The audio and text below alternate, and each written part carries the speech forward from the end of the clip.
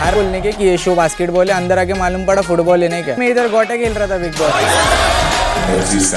we feel you, bro. हाँ।